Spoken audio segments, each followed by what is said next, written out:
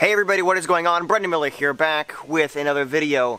When I woke up this morning and I saw the weather outside, I knew I had to go fishing.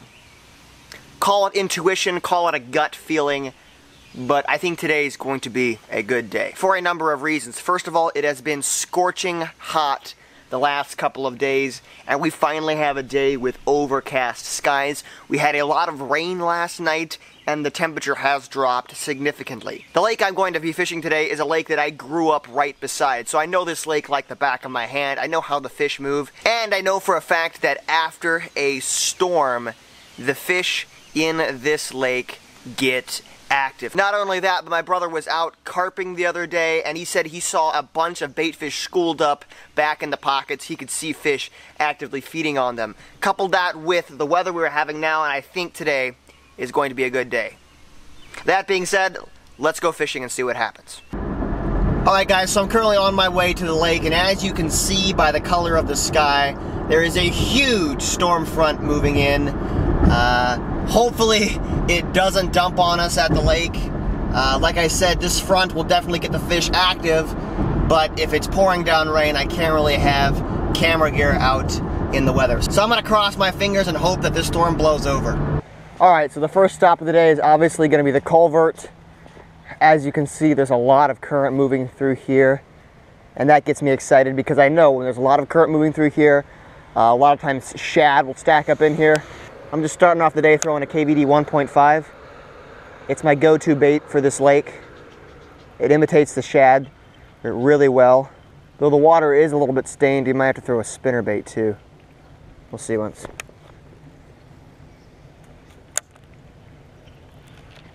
Got him. Boom, right there. Instant. First fish of the day. Little largemouth.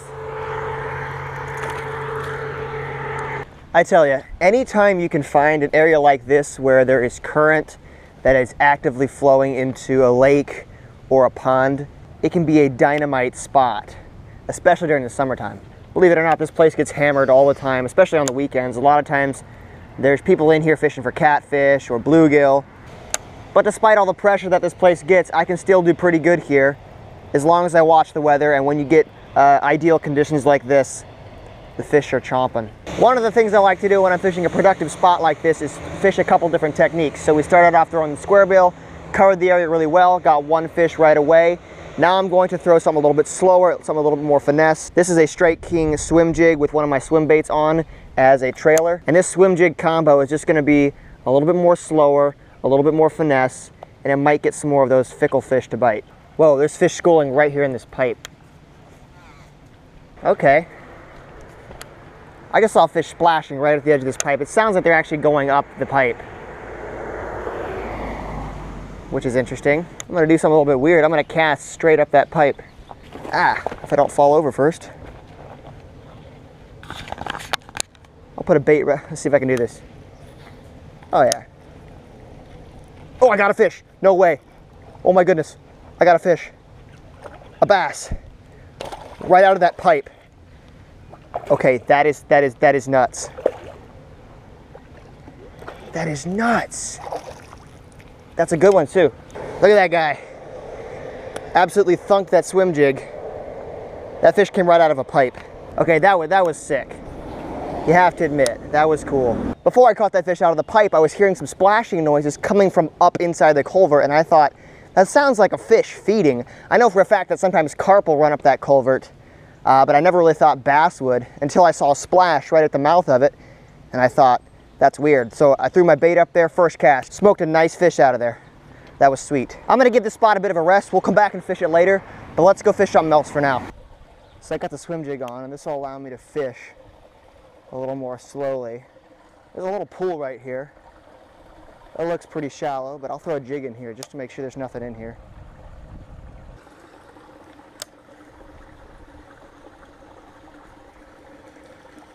Oh my goodness. Oh, there's a bass. There's a bass in here. No way.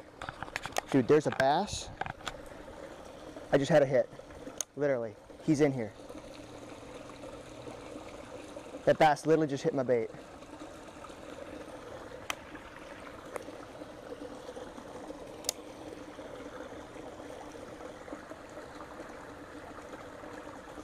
I got, oh, oh, shoot. Okay, calm down, calm down, calm down, calm down, calm down. It's a good fish. He keeps hitting my bait. All right, so there's obviously a bass in here somewhere. He hit my swim jig twice and then he stopped biting after that. So I switched up to a little curly tail grub, something that's a little bit more finesse, a little bit more subtle. Well, either he left or he's just not biting anymore. It's possible he could have just swam out of here. That's frustrating, man. That was a good fish. Oh.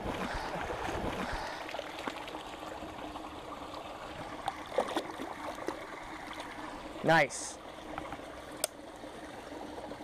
That was that was that was awesome. Oh, really?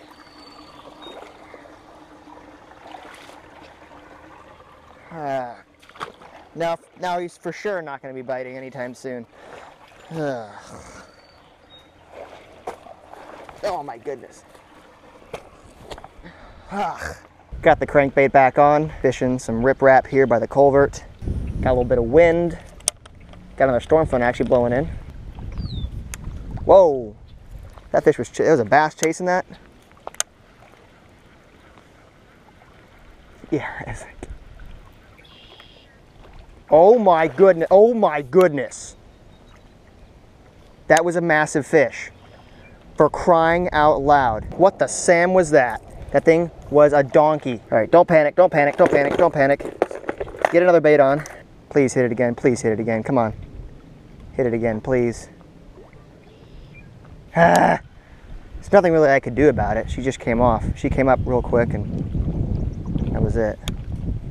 It's the worst feeling in the world, man, to lose a big fish. I'm gonna have dreams about that one, I'll tell you that.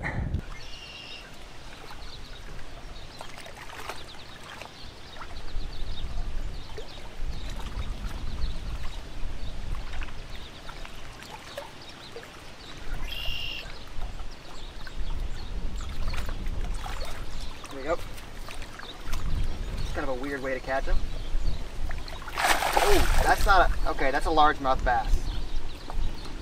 This is not a, uh, not a hook, it's a good largie. Apparently the largies are down in there too. Barely hooked.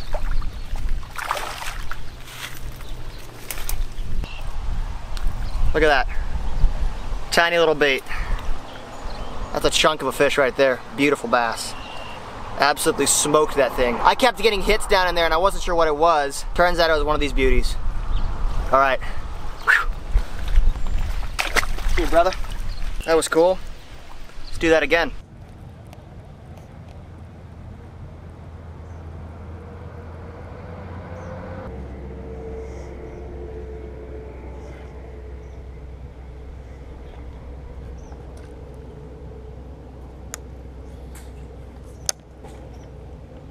Got one.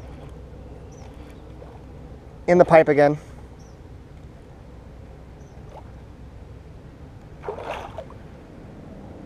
In the pipe. Nice.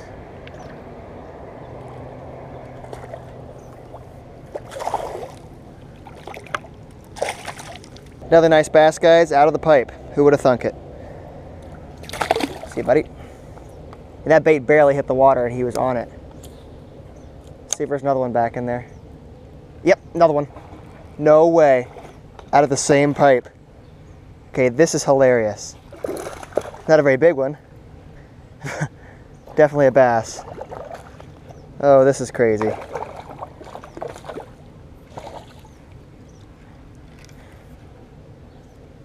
I'm enjoying this. Another beautiful bass out of the culvert pipe. That is crazy cool. I thought the one this morning was kind of a fluke, but apparently not. What a way to end the day. Two more bass out of that culvert. Super fun. Hey guys, Brendan Miller here from the future. I'm actually currently editing the video you are watching right now. I didn't shoot a proper outro, so I figured I'd do one on my phone to finish this video up. So as you guys saw, I had a great time catching those fish out of a culvert pipe. That was definitely a new experience for me, and I'm super glad I had the cameras rolling to capture it. By the way, guys, we hit over 150,000 subscribers on my channel. That's fantastic. Thank you to all the new people that have subscribed. Uh, the last couple of videos I made have been doing very, very well, and thank you to all the people that have that have watched those videos, that have shared, that have left a comment. It is really appreciated. By the way, guys, if you want to support the channel, there are some links down in the description to my line of swim baits, some merch, and some Amazon affiliate links. If you want to support the channel, be sure to check those links out. It is very appreciated. Thank you for watching, and as always, stay hooked. I'll see you later.